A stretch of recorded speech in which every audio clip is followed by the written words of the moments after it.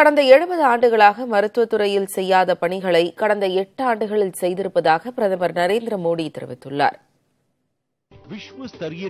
பஞ்சாப் மாநிலம் மொஹாலியில் முன்னூறு படுக்கைகள் கொண்ட புற்றுநோய் மருத்துவமனை மற்றும் ஆராய்ச்சி மையத்தை பிரதமர் மோடி திறந்து வைத்தார்